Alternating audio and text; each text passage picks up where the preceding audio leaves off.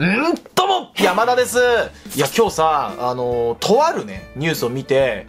それ早く導入してほしいって思うね、ものがあったんですよ。ちょっともう世間のね、普通のニュースの話なんですけど、あの、ウーバーイーツってあるじゃないですか。あのー、いろんなね、飲食店さんがですね、もう登録して、まあ、ウーバーイーツの配達員さんっていうのがね、まあ、こう、ものをね、運んできてくれると食べ物をね、最近だったらなんかコンビニとかもね、なんかね、商品持ってこれるらしいんですけど、まあ僕ちょっとコンビニはさすがに利用してないんですけどね。はい、あのー、結構ね、僕あのー、こういう感じで、ほら、スタバとかのさ、コーヒーとかもね、あのー、まあ、ちょっと家からだとね、あのー、そんなにすぐ近くにないから、ちょっとね、えー、ウーバーイーズでコーヒー頼んだりするんですけども、やっぱ配送料がね、高いんですよ。だからね、あんまりこう、ポンポンポンポンやるのもなーっていう風な気持ちになってたんですけど、なんか、月額制みたいな。やつを導入することを検討してますみたいなニュースがあって最高と思ってさ、なんか月々1000円ぐらい、まあ地域によると思うんですけども、えー、払うと、あの配送料はもうそれで全部込み込みになりますみたいな。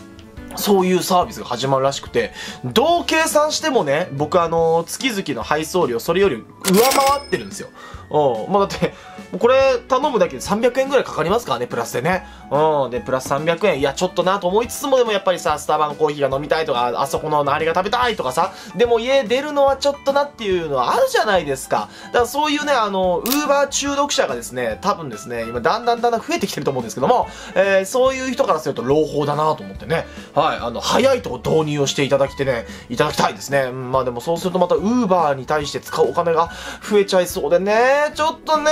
近はお金取っとかなきゃななんてやっぱ思うんですよ、僕もね。うん、あんまり使わないで貯金したいなってね。はい、思っているのでね、ほどほどにしなければなと思っている山田でございます。今日はですね、あのー、直近で、えー、発表されたこれから来る、えー、ポケモン GO のアップデート、あともうすでにゲーム内で反映されてるものですよね、えー、について少しお話ししていこうと思います。えー、もう間もなく開催します、謎の存在ウィーク。えー、こちらでですね、出てくるポケモンっていうのはすでに発表になっているんですけども、えー、こちら公式さんがですね、えー、その出てくるポケモンたちの中で、まあこれどうなるんだろうこいつらってどうなるんだろうなって思っていた、えー、ポケモンの色違いが実装になるということが発表されされました。えそれ以外にはですね、あの、今現在はオーストラリアの方だけで実装されているポケモン GO のとある機能、えこちらがですね、少しまた変更というか、え新しくね、情報が入ってきましたので、これについてもお話ししていこうと思います。ということで、今回、細々としたね、お話をちょこちょことしていこうと思います。えそれではまずは、謎の存在ウィークについてお話ししていきましょう。8月の8日から15日の間で開催される、えー、謎の存在ウィーク。こちらですね。まあ、あの、僕は人手マンも欲しいし、色違いのデオキシズもここ実装されると、えー、いうことでですね。まあ、あの、結構ね、個人的には、あの、今回の、えー、8月の3大イベントの中ではね、もうメインだと僕は思ってるんですけども、えー、こちらがね、開催されますんで、ここでですね、あの、新実装のリグレーがいたりだとか、まあ、注目度は比較的高いんですけれども、なんとですね、こちら、色違いのアンノーンが取れるということが、えー、公式さんから発表がございました。えー、色違いアンノーン、ついこの間のですね、ゴーフェスですよね。はい、えー、このゴーフェスでもですね、アンノーンが出現して、かつこいつらの色違いが狙えるという風になっていました。えー、なんですが、あの時と今回の違いがですね、えー、2点ございますね。まず1つ目は、今回はレイドバトルで、え、出てくるアンノーン、こいつらの色違いがゲットできるよという風になっていること。えー、ゴーフェスの時はですね、野生で結構ね、アンノーン出てたんですよね。えー、で、そいつらをタップして色違いの可能性がありましたよ。えー、って感じなんですけども、今回は、まあ、レイドでございます。ございますえー、で、もう一つはですね、型ですね。アンノーンって何かしらの特定のイベント、えー、まあ、この前のゴーフェスしかり、今回の、えー、謎の存在ウィークしかり、あの、形が固定されるんですよ、大体。あのー、どのアンノーンも出ますっていうイベントってあんまりなくて、今回の、えー、謎の存在ウィークは、ULTRA、ウルトラの文字ですよね。えー、の、アンノーンが登場するんですけども、こいつらの色違いが狙えるよという風になっております。で、こちらね、あの、ちょっとゲームイズのページね、参考に見ているんですけれども、えー、公式ツイッターによると、謎の存在ウィークにてアンノーンの色違いが登場する。登場するアンノーンはウルトラ型の5種類で、ここがめっちゃ重要です。謎の存在ウィーク終了後は、色違いのアンノーンには遭遇できなくなるので注意はい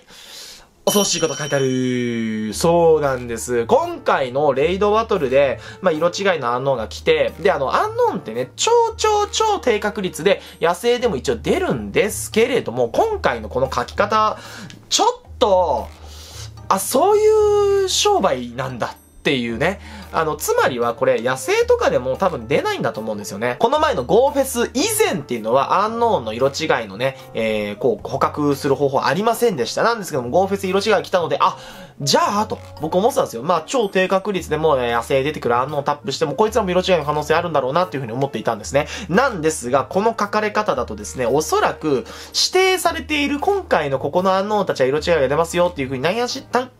ックが公式に言っているものじゃないと、えー、色違い獲得できなさそうですね、この感じで。まあわかんない。将来的に変わる可能性はもちろんありますけれども、えー、少なくとも今回の、えー、不思議な存在ウィークで、えー、狙えるアンノーンの色違い、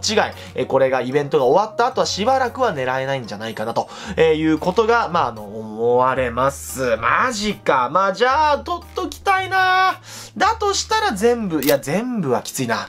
確率がまあ鬼のように高ければね、あのー、まだ頑張れるけれども、いけるかな。あと僕もう一個懸念があってね、あの、大体、大体よ。あの、今のレックーザとかもそうなんだけど、伝説レイドが大体多いのよ。うん出やすいんですよ。なんかもう2分の1もっとの確率なんじゃないかな。あの、黒卵が基本的にはその出やすくて、ピンクと黄色っていうのはそれよりもちょっと確率が低いっていうような、えー、状態に割かし、その、なんか、レイド入れ替わりってなるとね、なるんですよ。えー、で、これ、あの、不思議な存在ウィークもデオキシスが色違いが今回実装になりますので、まあ、こっちの方が注目度高いと思うんだよね。で、まあ、それはいいよ。もちろんね、僕もデオキシス欲しいから、あの、いいんですけども、アンノーンの色違いは、それに比べると多分出現数が少ないから、厳選のハードルが高いという風になるのではないでしょうか。えー、ということで、不思議な存在ウィークで色違い、まあ、あの、主にね、あの、狙える奴らとか新実装で言うと、えー、人手マン、えー、そしてデオキシス。ここが新実装ですよね。で、新実装ではないけれども、やっぱりちょっとハードルが高いやつのアンノーンですよね。えー、この3匹中、まあ、あの2枠がレイドなんだよね。で、しかもそのうちの1枠はちょっと黒玉に押されがちということで、多分ここのアンノーンの色違い厳選一番しんどいと僕は思うんですよね。うん。まあ人によって人手間なのかもしれないよ。野生とかお香とかソースとか使わないとね、多分厳選想像できないので。うん。まああの僕はここに関してはあの、しんどいってもうすでに思ってないので、時間何時間でもやろうと思ってるからね、全然へでもねえんですけど、あの、他のとこですよね。ちょっとここのアンノーンに関しては、あー、焦らすし、しかもハードルも高いしということで、頑張らなければという気持ちになっている僕でございます。時間確保できるかな？まあ、頑張ろうまあ、の、謎の存在ウィークについてはね、他のところでも動画いろいろ出しているので、他の情報に関しては割愛させていただきます。あと、この動画が上がる前後とかにですね、デオキシス攻略ですよね。最新のデオキシス攻略みたいな、えー、動画の方も、えー、公開されているはずでございますので、えー、もしもね、そこ気になる方はよかったらそちらの動画をチェックしてみてください。はい、続きまして、えー、オーストラリアで先行実装されているとある機能についてでございます。えー、数ヶ月前にですね、僕動画の方でもご紹介させていただいたんですけれども、ポケコイン。はい、こちらの入手方法っていうのはですね、今現在ポケモン GO 内だと、あの、基本的にはジムにポケモンを置くというところで、えー、その置いたポケモンがどれだけ防衛できたかっていうところに応じて、えー、もらえるという、そういう報酬としてのポケコインがね、えー、あって、それ以外はですね、まあ、課金して入手するしかできないんですけども、あの、もう4年も経ちましたので、そろそろそれれ柔軟にしていこうぜみたいなね、えー、そんな感じのですね、ナイアティックさんのですね、えー、考えがありまして、えー、様々なそのアクティビティをクリアすることによって、えー、ポケコインが入手できるよという風にしますと。で、今現在これはオーストラリアだけで反映されていたのですが、他の国もね、こちら、えー、徐々に、えー、展開されていくということが発表となりました。こちらがですね、えー、8月の4日すでにですね、反映され始めています。で、どこの区間になっているかというと、ドイツと台湾とニュージーランドとなっています。ドイツも台湾もまあまあポケゴをやってる人はいるんですよね。はい。えー、なんだけれども、まあ日本とかアメリカ、この2つの国が、えー、ポケモン GO のユーザーも2トップ、数が多い2トップなんですよ。まあ人口の多さももちろんあるんですけども、あの、都市部とかのね、えー、ジムとか、えー、ポケストップの数もやっぱりえぐいので、この2つの国は。えー、まあなので、そういったところはやっぱりプレイヤーが多くなりがちだよねっていうところだと思うんですけども、あとまあ、いきなりそのプレイヤー人口が多いところにドーンって実装するんじゃなくて、そこよりもちょっと軽いところから始めていって、あ、大丈夫かな？大丈夫かな？大丈夫かな？いけそうだね？サーバー強化して、はい、世界展開みたいな感じなので、えー、まあ、しょうがないのかなと。ただ今回この中にドイツが入ってるんですよ。あの、Go フェスですよね。ゴーフェス、あの、今年は全世界でやりましたけれども、あの、今まではですね、まあ、日本、アメリカ、ドイツ、この3国で、3国で今までは、えー、開催されていたんですよね。まあ、つまりは、ナイアンティックさん的にもですね、ゴーフェスとか、そういうでかいイベントをやるとなって、人を集めるんだったら、じゃあどこがいいって言ったらドイツ。まあ、あの、ヨーロッパの方ですよね。で、やるんだったら、じゃあドイツがいいだろうっていう風にして選ばれているところなので、えー、まあ、それがね、今回含まれているということは、割と、まあ、進んでんのかな、開発みたいなね。うん、いうような印象が、まあ、個人的にはありますよね。まあ、とにもかくにもこれがね、早く日本国内の方にもね、えー、来てくれたら嬉しいな、なんて思ってる山田でございます。年内に来たらいいな。はい、えー、そして最後にですね、本日からですね、コミュニティデイのチケット。はい、こちらが購入できるようになりました。まあ、あの、もちろんこのチケットを買うかないに関わらずですね、コミュニティデーは参加できるんですけれども、こちらを購入していることによって、えー、この、今度8月の8日ですよね、えー、コイキングのコミュニティデイに、あのー、こう、プレイすることができるスペシャルリサーチだとか、あとは、えっ、ー、と、まあ、様々なアイテムが入手できると。で、今回も価格は120円なので、えー、まあ、別に高くはないのかなと思います。まあ、僕はこちら購入してね、遊んでいこうかなと思います。いや、もう、コミュニティデイと不思思議な存在ウィーク、ダブルアップデート日までもうすぐですね。皆様当日どう立ち回ります？まあ、僕はですね、あのー、まあ、どうしても人手満厳選がやっぱしたいので、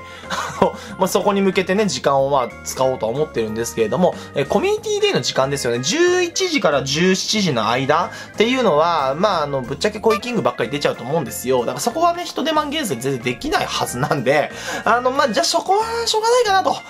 うん、まあ、あの、そこは割り切って、コミュニティデーはコミュニティデーで頑張ろうと思っております。ただ、今週末も暑いんじゃない？やっぱそうだよね。日曜日だってさ、東京最高気温34、34度ですって大丈夫かな？俺。やっぱさ、あの、8月になって急激に暑くなってね。で、あの、卵割りとかもさ、もう最近ね、ちゃんとやってる毎日ね、ギフトもね、あれ、7タ割ったりとか、レイドバトルとかもやってるけれども、やっぱね、体のね、あのー、こ